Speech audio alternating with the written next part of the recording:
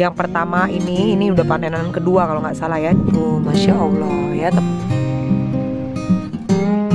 kalau ubi mau berumbi itu harus pakai pupuk kimia. Ubi yang bisa menghasilkan ubi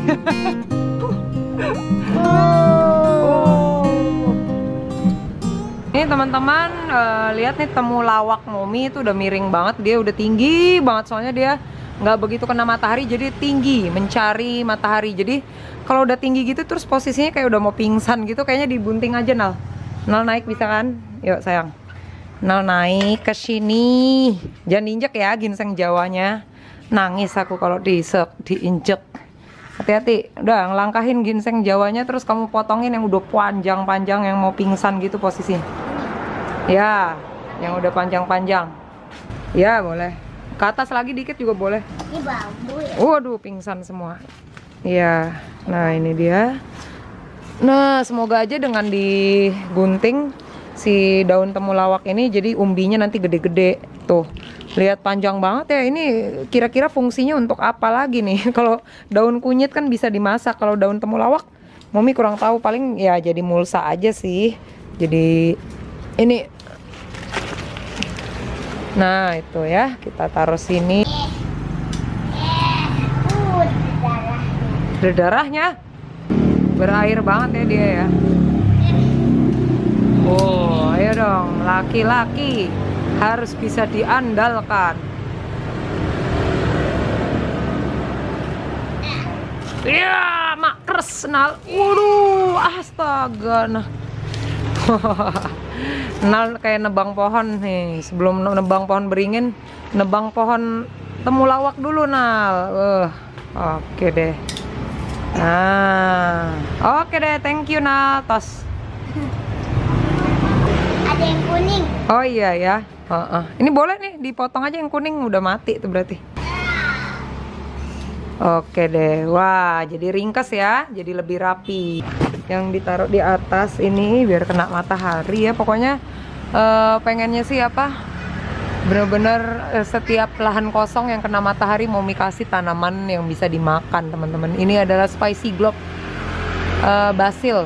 Oh lihat tuh, udah cantik banget bentuknya. Nanti dia bentuk bola gitu kalau udah gede, cakep banget ya. Ini masih pakai pot kecil Nah nanti ke depan mau pindahin ke 15 liter planter bag biar cakep banget kelihatan tuh ada dua ya. Biasanya sih nggak belum sempat gede udah ada aja yang minang dia ini.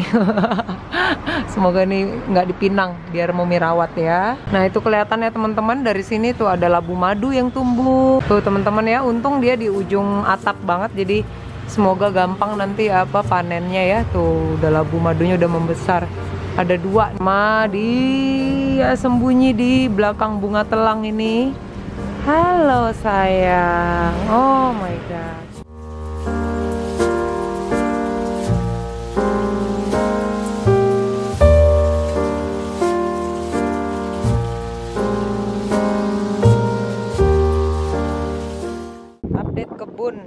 Nah, inilah teman-teman kondisi ubi kita ya dalam sehari ini seperti ini nih. Tuh ya.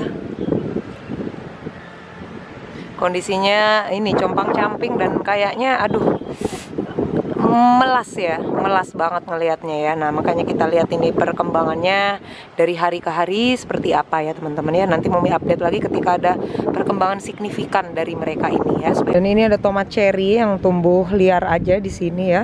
Mumi uh, pindahin ke sini untungnya nggak dimakan binatang tanah padahal ini masih banyak loh kumbang-kumbangnya teman-teman tuh. Tuh ya yang jalan-jalan itu tuh suka makanin akar-akar muda. Tapi entah kenapa ya kalau sudah berkehendak Allah itu ya e, membiarkan tanaman yang di sini tuh tumbuh ya tumbuh aja gitu. Karena teman-teman bisa ingat Momi sudah pernah panen melon kantalop. Bukan melon kantalop ya ternyata melon biasa kayaknya.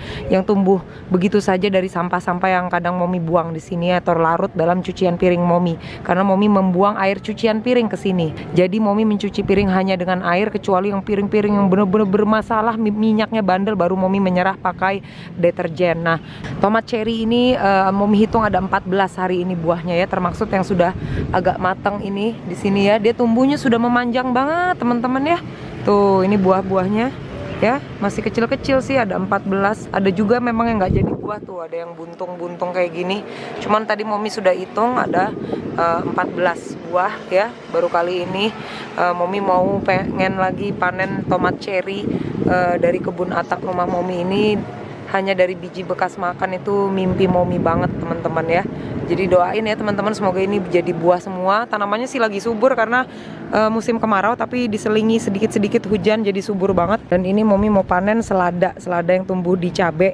Tuh dia udah ada biji-bijinya. Bukan panen seladanya tapi panen bijinya. Supaya ke depannya momi nggak perlu beli biji selada lagi jadi tinggal semai dari hasil panen ini. Nah seperti kalian lihat di sini nih Tuh ada bunga selada. Aduh, kena angin gawat ini ya, gawat gawat gawat. Ini kita masukin ke dalam uh, amplop-amplop kayak gini buat sendiri di lem. Teman-teman, Momi mau tunjukin di sebelah sana tuh.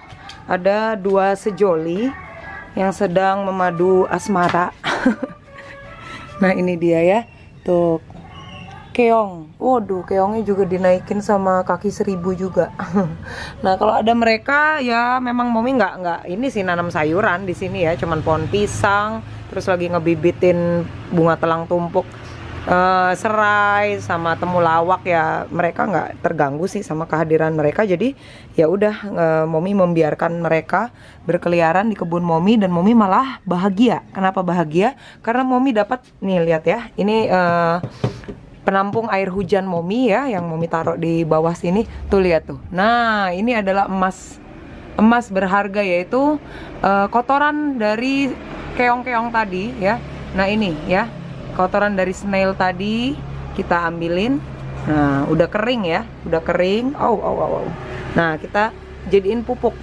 Ini pupuk gratis dari alam teman-teman. Jangan disia-siakan ya bekicotnya sendiri kalau kalian mau mematikan dia dijadiin pupuk katanya juga bagus. Ya tapi momi lebih memilih ee-nya aja deh. Ya kasihan bekicotnya kalau dijadiin pupuk. Nah ini insya Allah nanti ke depannya akan subur sekali. Saya percaya itu ya. Tuh dia. Halo thank you ya atas pupuk gratisnya pengganti kascing nah, terus momi mau bilang ini temulawak yang kemarin ditebang anak momi. Nah ini karena momi suruh juga dia biar nggak terlalu panjang ternyata sudah ada tunas barunya. Ye alhamdulillah.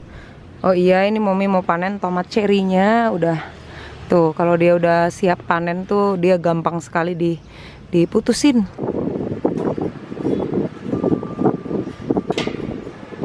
untuk media tanam yang banyak binatang tanahnya ini uh, sebaiknya kita olah dulu, kita diamkan dulu di dalam karung, boleh dimasukin ke dalam kompos bag juga boleh, bareng sampah-sampah organik dan segala macamnya diolah dulu sampai benar-benar hilang lah binatang tanahnya itu lama-lama hilang kok, tenang aja ya. Begitu si mulsa-mulsa organik ini ya uh, terurai sempurna itu bakal hilang si binatang tanah itu dan akhirnya bisa ditanamin kembali. 19 Agustus 2020 update kebun kebun tuh lihat teman-teman ya ubi kita uh, sudah terlihat uh, mana yang survive dan mana yang tidak. Udah kelihatan tuh ya daun-daun barunya sudah cerah hari ini ya. Hari keberapa ini sejak penanaman steknya Momi tulis di bawah ya. Alhamdulillah Insya Allah 4 bulan lagi kita mau panen uh, ubi yang banyak dari sini ya harapannya begitu. Nah sebelum kita ke Bandung kita mau lihat-lihat dulu nih Nah, itu juga yang bagian atas nih udah berbunga semua ya. Tuh yang ini tapi agak-agak cacat. Tuh. Yang itu nggak gede-gede. Kayaknya dia cuman segitu aja. Yang gede udah dipanen yang ini nih. Tuh, kalau yang udah dipanen kayak gini aja bentuknya. Kita panen dulu yuk. Mau ngasih mama mertua di Bandung uh, mungkin biar dimasak apa gitu kali ya. Uh, mami nggak tahu kalau dimasak biasa dimakan mentah aja ini karena udah enak banget dimakan mentah teman-teman. Uh, daunnya sangat sangat lembut sangat sangat crunchy enak sekali. Tidak ada pahit-pahitnya ya. Uh, walaupun sama-sama keluarga brasika keluarga kol-kolan sama dengan kel tapi kel kan agak keras daunnya dan juga agak pahit. Kalau ini enggak sama sekali teman-teman terlihat dari warna daunnya ya dia tidak terlalu hijau. Kalau kale kan hijau banget walaupun memang lebih sehat yang hijau banget itu yang pahit itu uh, pastinya gizinya lebih banyak ya kale tapi ini enak enak banget.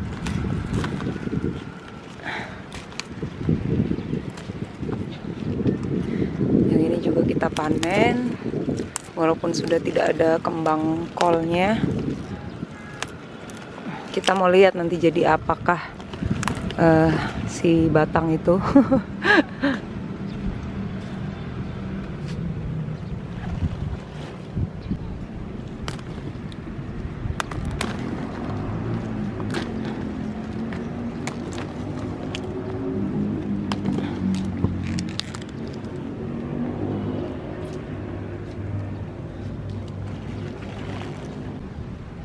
ini juga alhamdulillah udah kembang. Padahal uh, ini itu sempat kuning ya teman-teman kalau mau miliatin tuh di layar yang ketika dia overdosis POC dan ini media tanamnya cuman Momi pakein kompos dari hasil kompos bag sendiri dan dicampur sekam bakar biar poros. Udah itu doang teman-teman. Jadi nggak pakai media tanam toko yang dari toko cuman sekam bakarnya doang Nah sempat kuning dia awal-awal kemungkinan karena komposnya itu belum matang banget kali ya karena kompos homemade.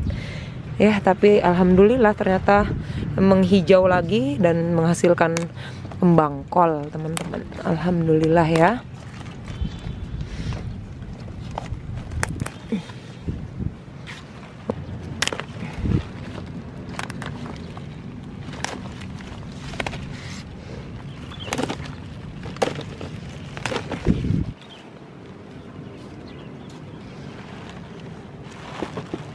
ini juga udah nggak ada kembangnya. Jadi cuma dari 16 pot udah dua ya yang dipanen kembang kolnya. Tapi sama momi dibiarkan aja tanamannya. Momi mau lihat jadi apa dia sih kalau sudah tidak ada kembang kolnya. Waduh ini jahat banget momi. Digundulin dong udah nggak ada kembangnya gundulin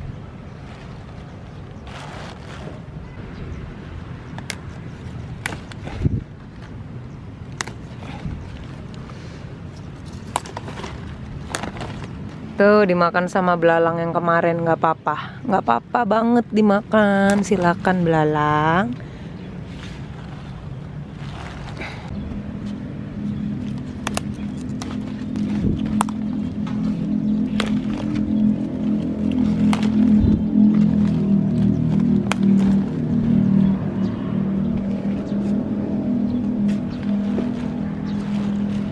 Yang di vegetable planter bag nih. Mami senang banget pakai vegetable planter bag karena apa? Karena luas jadi bisa muat 4 bisa ini teman-teman ya. Nah ini vegetable planter bagnya itu 50 liter jumbo. Jadi enak banget ya. Jadi itu pendek ya pendek. Nggak pendek juga sih lebih tinggi dari yang 15 liter ya pastinya. Dan lebih tinggi tapi dia lebar gitu. Rice bed kecil-kecilan gitu ya. Dan ini juga udah berbunga semua. Yang ini masih kecil bunganya yang ini udah agak gede. Kita mau lihat apakah kembangnya itu bisa lebih gede ya. Soalnya ini kan rice bednya lebih gede tentunya dari uh, eh, 15 liter. Harusnya dia bisa menghasilkan kembang yang lebih gede. Karena hasil itu mengikuti uh, besar kecilnya potnya teman-teman ya sebelah sini uh, kalau kalian heran ini apa ini steknya teman-teman. Diambil steknya anakan dari kembang kol kembang kol yang ada di sana. Ini momi lagi tanam. Ini kayaknya usia yang ini nih yang udah lebih lama. Makanya dia udah kuning kuning itu beradaptasi. Namun daunnya yang tengah ini masih hijau segar kalau yang ini baru kemarin. Nih ditancap ya. Ini barang daun bawang bekas warung dicoba. Dan ini steknya yang sudah berhasil teman-teman tuh. Udah survive dia udah menggede ya. Jadi bisa di stek. Nah sekarang kita lihat apakah hasil stekannya bisa berkembang juga ada kembangnya. Kita lihat ya. Ini kenapa nih retrasiannya kok lemes-lemes? Uh, kita panen dulu aja.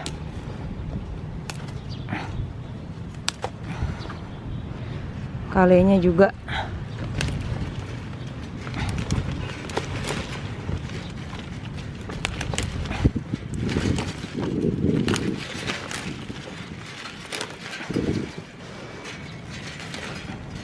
Oke, uh banyak teman-teman.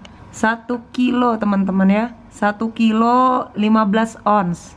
Bener nggak Momi ngomongnya? Uh, sekilo, alhamdulillah akhirnya uh, punya daun-daunan hijau sampai sekilo dan ini semua bisa dimakan sampai batang-batangnya juga enak banget nih teman-teman ya.